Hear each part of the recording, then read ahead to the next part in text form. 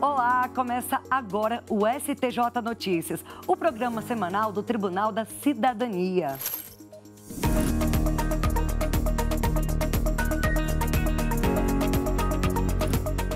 Você vai ver nesta edição. FGTS não pode ser penhorado para pagamento de honorários advocatícios. Mãe pode entregar filho para adoção sem conhecimento da família extensa. E além disso, preparamos uma reportagem especial sobre a decisão que reconheceu dupla maternidade em inseminação artificial caseira com sêmen de doador. Eu sou Kátia Gomes e o STJ Notícias está no ar.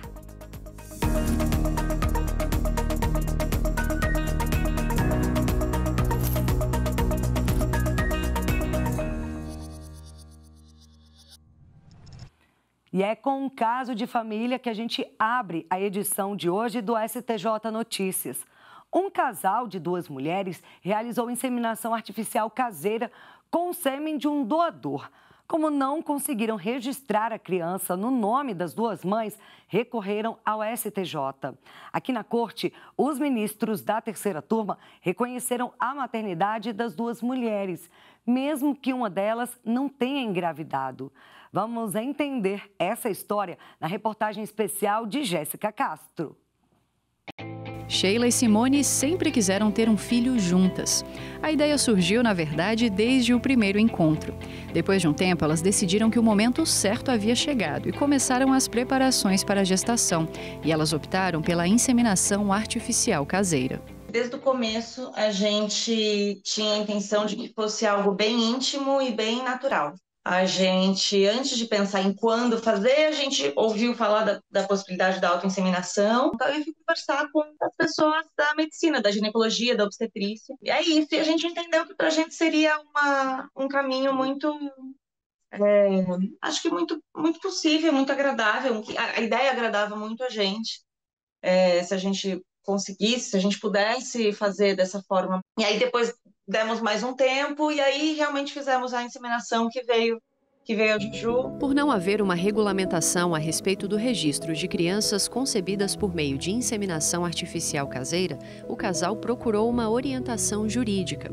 A advogada especialista em direito de família, Ana Carolina Mendonça, foi quem as representou e elas entraram com uma ação judicial antes mesmo da Júlia nascer. A premissa maior que a gente parte é que a gente não está diante de um procedimento ilegal.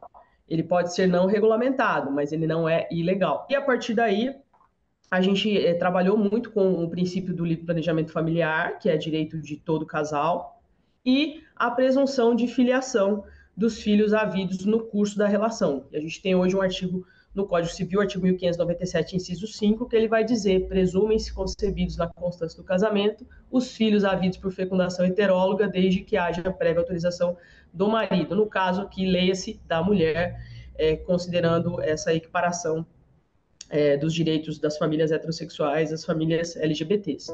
O Tribunal de Justiça de São Paulo, assim como a primeira instância, também não reconheceu a dupla maternidade, porque considerou que o método adotado pelo casal não tem regulamentação no ordenamento jurídico brasileiro e contraria resoluções e normas do Conselho Federal de Medicina e do Conselho Nacional de Justiça. A gente poderia simplesmente dizer: olha, acabou, para a gente deu, e solicitar o reconhecimento da maternidade socioafetiva. E é, no documento, a gente resolveria essa questão. Mas é injusto, né? Porque é dizer, é a gente concordar que é verdade, né? Ela não é mãe dessa mesma forma que eu sou mãe, então só assim diz que tudo bem, a gente está incluindo ela na família. E não é verdade. Porque ela planejou, ela fez todas as escolhas, ela que acompanhou, ela que fez a inseminação, que acompanhou a, gestação inteira, é, que participou de todo o pré-natal, que acolheu a filha, que cantou a filha para a filha nascer, e que acolheu quando a filha nasceu, que ela, inclusive amamentou, que também não é um pré-requisito para ser mãe, mas até amamentar, amamentou. Então, como é que a gente fala, não, tudo bem, vamos incluir ela depois? O caso veio parar então no Superior Tribunal de Justiça, sob relatoria da ministra Nancy Andrighi. E ela destacou que a Constituição Federal e o Código Civil reconhecem o planejamento familiar como de livre decisão do casal e impõem ao Estado a obrigação de proporcionar o exercício desse direito sem qualquer tipo de coerção das instituições públicas ou privadas conquanto o acompanhamento médico e de clínicas especializadas seja de extrema relevância para o planejamento da concepção por meio de técnicas de inseminação artificial, não há, no ordenamento jurídico brasileiro, vedação explícita ao registro de filiação realizada por meio de inseminação artificial caseira também denominada autoinseminação. Ao contrário, à luz dos princípios que norteiam o livre planejamento familiar e o melhor interesse da criança, indica que a inseminação artificial caseira é protegida pelo ordenamento jurídico brasileiro. Todos os ministros da terceira turma seguiram o voto da relatora, entendendo que os altos custos das técnicas de inseminação artificial em clínica podem inviabilizar o sonho de várias famílias. E o Poder Judiciário não pode permitir essa desigualdade. A ministra ressaltou que todos os requisitos previstos no Código Civil para que se reconheça a dupla maternidade foram preenchidos e que a presunção da maternidade ou paternidade de cônjuge é absoluta, sem possibilidade em regra de retratação ou impugnação. A ficha ainda está demorando, assim, né? Ainda está indo devagarzinho e passa um filme na cabeça, né? De tantas coisas que a gente, tantos constrangimentos que a gente passou para chegar até aqui que não é novo, né? Famílias LGBTs existem há muito tempo. Desde que famílias existem. Desde que famílias existem. O importante é que se reconheça que existe, nossa família existe, independente da, da, da proximidade ou não que a gente fique, né? Se ela morar no Japão e morar nos Estados Unidos, vamos continuar sendo mães da Júlia.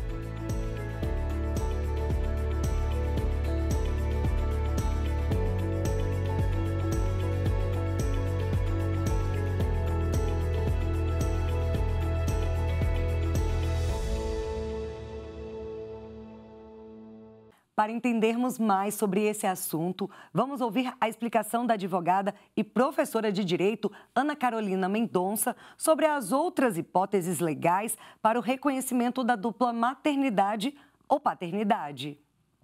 Eu posso reconhecer a socioafetividade direto no cartório, desde que haja concordância dos ascendentes e essa criança tenha no mínimo 12 anos. Então, seria uma hipótese de reconhecimento imediato no cartório. Então, tem que ter ali um exemplo, né?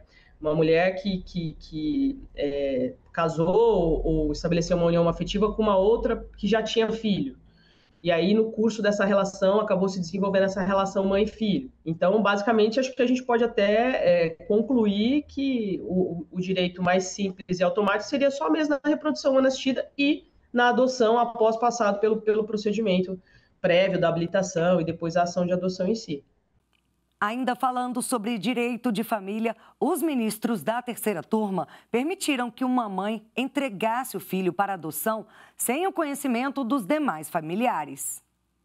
O sigilo sobre o nascimento e a entrega voluntária da criança para adoção, previsto na Lei 13.509 de 2017, pode ser aplicado em relação ao suposto pai e à família do recém-nascido. Essa foi a conclusão da terceira turma do STJ ao julgar recurso de uma mãe que buscava o encaminhamento do filho para adoção sem consulta prévia aos parentes. O colegiado entendeu que o direito ao sigilo é fundamental para garantir segurança e tranquilidade desde o pré-natal até o parto. O juízo de primeiro grau havia homologado a renúncia da mãe ao poder familiar e encaminhou o filho para adoção. Isso porque ela não queria que os parentes fossem consultados sobre o interesse em ficar com a criança, preferindo que tudo permanecesse em sigilo. O Ministério Público recorreu afirmando que os familiares deveriam ser consultados antes de qualquer decisão. Já o Tribunal de Justiça de Minas Gerais determinou que, antes do encaminhamento do recém-nascido para adoção, fossem esgotadas todas as possibilidades de inserção na família natural. A Defensoria Pública recorreu ao STJ, alegando que o direito ao sigilo deveria ser estendido a todos os membros da família biológica. O relator do caso na terceira turma, ministro Moura Ribeiro, destacou que a Lei 13.509 de 2017 oferece uma alternativa mais segura e humanizada, voltada para a proteção da vida digna do recém-nascido. Com isso, práticas como o aborto clandestino e o abandono são evitadas. O ministro afirmou que o direito da criança à convivência familiar não entra em conflito com a entrega voluntária para adoção, desde que a mãe opte pelo sigilo do nascimento. Embora a adoção deva ocorrer depois de frustradas as tentativas de manter a criança na família natural, essa solução nem sempre atende ao melhor interesse do menor. Também na área de adoção, a terceira turma do STJ definiu que o Ministério Público não tem interesse processual para pedir indenização por dano moral coletivo a casal que tentou adoção à brasileira. O processo de adoção é gratuito e começa na vara da infância e juventude. Lá, o interessado é orientado a seguir um passo a passo até ser habilitado e ter os dados inseridos no sistema nacional mas nem todas as pessoas seguem esse trâmite e fazem a adoção direta, conhecida como adoção à brasileira, como explica a advogada Soraya Noronha, especialista em direito de família e sucessões.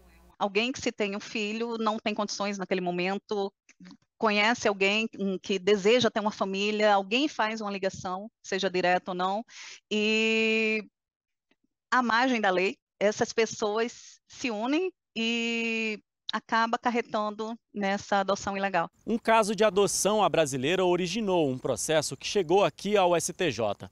Na origem, o Ministério Público de Santa Catarina ajuizou uma ação civil pública contra um casal, argumentando que ao tentarem realizar uma adoção à brasileira, um homem e uma mulher teriam desrespeitado as regras de adoção, causando prejuízo ao patrimônio coletivo e abalo moral e coletivo do sentimento de confiança nas autoridades constituídas. Na primeira instância, o processo foi extinto, mas o Tribunal de Justiça de Santa Catarina acolheu a apelação do Ministério Público, entendendo que a ofensa ao sistema legal de proteção da infância e da juventude feriu valores fundamentais da sociedade. O caso foi julgado pela terceira turma do STJ. O voto que prevaleceu foi do ministro Ricardo Vilas Boas Cueva. Ele observou que o Sistema Nacional de Adoção está estruturado para que o melhor interesse e proteção da criança e do adolescente sejam assegurados. Por isso, segundo o ministro, a adoção direta é proibida. O magistrado destacou que, para a configuração do dano moral coletivo, conforme solicitou o Ministério Público, é preciso reconhecer conduta de razoável significância que ultrapasse os limites do tolerável e implique em sensação de repulsa coletiva. Ele entendeu ser questionável a existência de interesse processual, pois, no caso concreto, a criança não ficou com o casal. Assim, a terceira turma deu provimento ao recurso especial para reconhecer a carência de ação por falta de interesse processual com consequente extinção do processo. Em outro julgamento, foram anuladas as provas extraídas sem ordem judicial do celular de um preso por tráfico de drogas que acabou condenado. Os policiais disseram que no momento do flagrante, o homem teria permitido o acesso ao aparelho, mas a defesa negou essa versão. O caso foi julgado pela sexta turma. Para o colegiado, não houve comprovação adequada de que o acusado tenha concordado que os policiais que fizeram a prisão tivessem acesso ao celular dele. No tribunal de origem, houve a validação das provas obtidas a partir do acesso ao conteúdo de um aplicativo de mensagens no celular do acusado, logo após a prisão em flagrante. Em depoimento, os policiais alegaram que a central recebeu uma denúncia de tráfico de drogas e eles se dirigiram até o local para verificar. Chegando lá, encontraram o indivíduo que, após passar por busca pessoal, teria permitido o acesso ao aparelho. De acordo com o relator na sexta turma, ministro Sebastião Reis Júnior, o STJ entende que a permissão para policiais acessarem o conteúdo do celular deve ser dada diante de testemunhas e com um registro por meio de recursos audiovisuais, sempre que possível.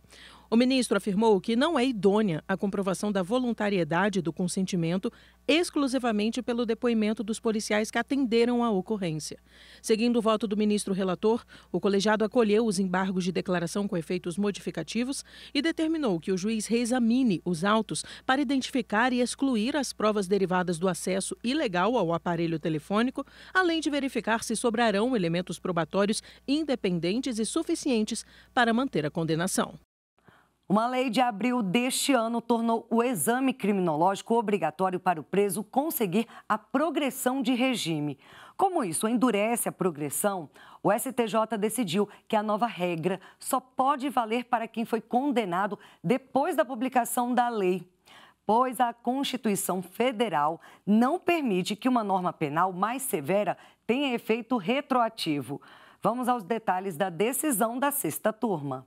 O entendimento do COIU de que a exigência de exame criminológico para a progressão de regime penal caracteriza a aplicação de lei nova mais severa que a anterior e, por isso, não se aplica aos presos condenados antes da publicação da Lei 14.843 de 2024, que alterou a Lei de Execução Penal. A decisão foi tomada no julgamento de um recurso em habeas corpus que chegou ao STJ após o Tribunal de Origem manter a determinação do juízo da execução penal o qual exigia a realização do exame criminológico para conceder a progressão de regime. O relator, ministro Sebastião Rei Júnior, explicou que a exigência de realização do exame para toda e qualquer progressão de regime expande os requisitos para obtenção do benefício, o que aumenta a dificuldade para o apenado alcançar regimes prisionais menos gravosos à liberdade. Mas em seu voto, o relator, que foi acompanhado pelo colegiado, comentou que para as situações anteriores à edição da Lei 14.843 de 2024, permanece a possibilidade de exigência da realização do exame criminológico, desde que devidamente motivada, de acordo com a súmula 439 do STJ. Há 58 anos, o FGTS é um dos motores da economia brasileira. No ano passado, o lucro foi superior a 20 bilhões de reais, o maior da história do fundo responsável por gerir os valores, a Caixa Econômica Federal liberou mais de 140 bilhões de reais em saques para os trabalhadores em 2023, um aumento de cerca de 12% em relação ao ano anterior. E a quarta turma tomou uma decisão com impacto nesses números. Para o colegiado, o saldo do FGTS não pode ser bloqueado para o pagamento de honorários advocatícios, sejam contratuais ou sucumbenciais. O Fundo de Garantia por Tempo de Serviço, o FGTS, é um benefício garantido ao trabalhador com carteira assinada. O empregador deposita todos os meses 8% do salário de cada funcionário. O dinheiro pode ser acessado em casos específicos de vulnerabilidade do trabalhador. Justamente por isso, a lei que dispõe sobre o FGTS impede que o fundo seja usado para o pagamento de dívidas, como explica a advogada Sávia Coimbra, especialista em direito civil. Quando a gente é, trata da possibilidade ou não de penhora do FGTS, a gente tem que olhar lá para trás da criação do instituto do FGTS. O FGTS ele foi criado para proteger o trabalhador de eventuais é, fragilidades financeiras, em caso de desemprego, por exemplo, em caso de doença.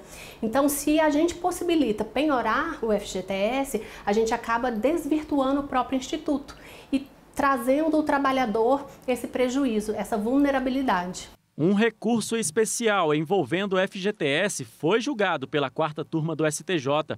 Os ministros decidiram que os valores do fundo não podem ser bloqueados para o pagamento de créditos relacionados a honorários advocatícios. O caso julgado teve origem em um cumprimento de sentença requerido por uma advogada que cobrava do ex-cliente o pagamento de cerca de 50 mil reais referentes a honorários contratuais. Na primeira instância e no Tribunal de Justiça de São Paulo, foi validada a penhora de 30% do salário do executado e o bloqueio de eventual saldo disponível em conta do FGTS do cliente até o limite do débito com a advogada. O ex-cliente, então, apresentou um recurso especial ao STJ pedindo que fosse reconhecida a empenhorabilidade do FGTS com base na lei que dispõe sobre o fundo. O relator do RESP, ministro Antônio Carlos Ferreira, lembrou do objetivo do FGTS em oferecer segurança financeira em momentos críticos ao trabalhador.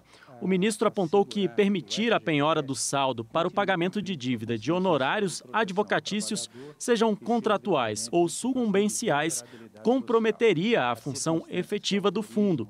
Ao contextualizar a decisão, Antônio Carlos Ferreira explicou que o entendimento do STJ é de que o FGTS só pode ser alvo de restrição em situações que envolvam prestações alimentares, para garantir a subsistência do alimentando e não verbas de natureza alimentar, como é o caso de honorários advocatícios.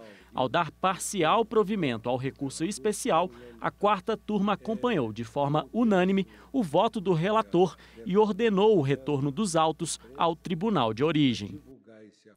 Na terceira turma, os ministros decidiram que, em processos sobre indenização de seguro, é a seguradora que deve apresentar provas da existência de fatos que excluem a cobertura, e não o segurado que tem de provar o contrário.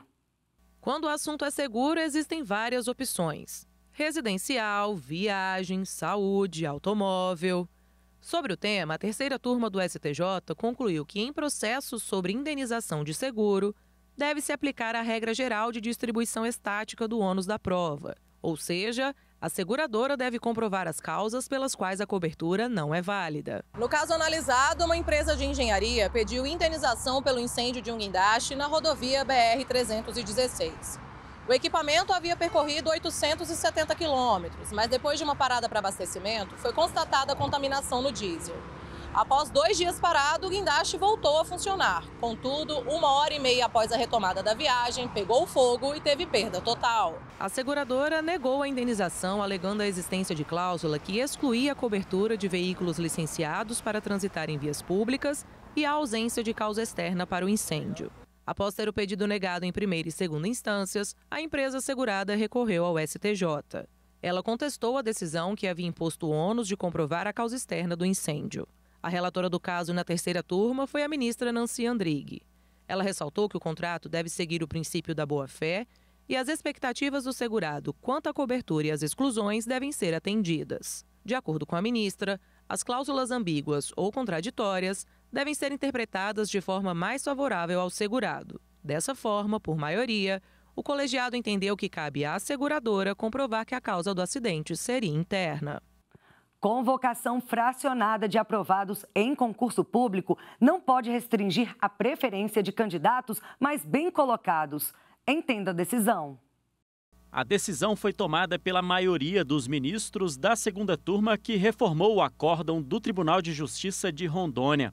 O TJ negou mandado de segurança a um candidato aprovado em segundo lugar para o cargo de oficial de justiça. Ele alegou que foi preterido na escolha da lotação. Por ter sido mais bem colocado, a primeira convocação em que participou ofereceu opções para uma comarca distante de Porto Velho, capital do estado, enquanto 20 dias depois, na segunda convocação, foram oferecidas opções de lotação mais vantajosas, inclusive na capital. No julgamento da segunda turma do STJ, prevaleceu o voto do ministro Teodoro Silva Santos. O ministro apontou que o curto intervalo entre a primeira convocação e a segunda, de apenas 20 dias, violou os princípios da razoabilidade e da proporcionalidade no caso. Segundo ele, o prazo curto demonstrava que, na data da primeira convocação, já havia necessidade de provimento dos cargos. De acordo com o ministro, o próprio edital estabeleceu que a audiência pública para escolha das vagas deveria obedecer à ordem de classificação no concurso.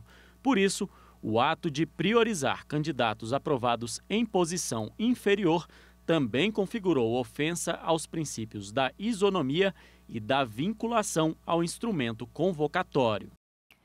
E chegou o momento de a gente dar uma espiada no perfil do STJ no Instagram. A gente recebe agora a participação da social media Daniele Galvão, que faz parte da equipe de redes sociais do tribunal. Muito obrigada, Dani, pela sua participação. Eu que agradeço, Kátia. Agora me conta o que você traz para a gente hoje. Então, publicamos mais um conteúdo relevante para todos os concurseiros que querem conhecer melhor o funcionamento do STJ. Soltamos um post carrossel que vai falar um pouco mais sobre as comissões permanentes e temporárias do tribunal. Não, e ficou muito bom, né? Esse post com essa explicação esquematizada para entender quais são as comissões né, e como elas se dividem. Exatamente. A ideia nesse tipo de postagem é ser o mais didático possível. Assim, a gente acaba usando uma abordagem bem mais visual. Aqui, por exemplo, a gente quis mostrar que o STJ tem cinco comissões permanentes, com o número de ministros variando entre, entre elas. E temos também as comissões temporárias. Isso, Kátia. No post, a gente quis mostrar como é a origem dessas comissões, que elas podem ser criadas pela Corte Especial ou pelo presidente do STJ.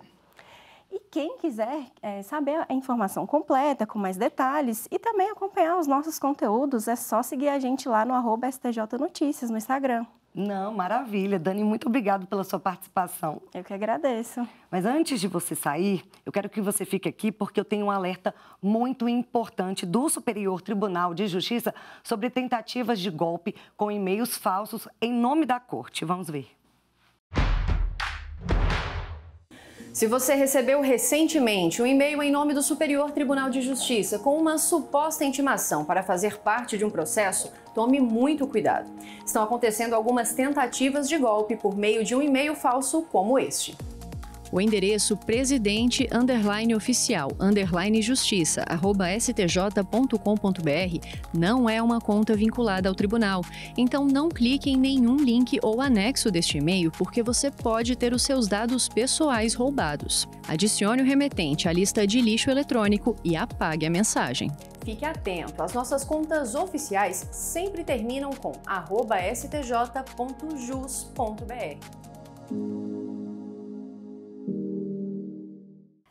o STJ Notícias está chegando ao fim de mais uma edição. Para conferir mais decisões e outras informações do tribunal, temos várias opções para você. É só acessar o site oficial e o perfil do STJ no YouTube, nas plataformas de áudio e nas redes sociais.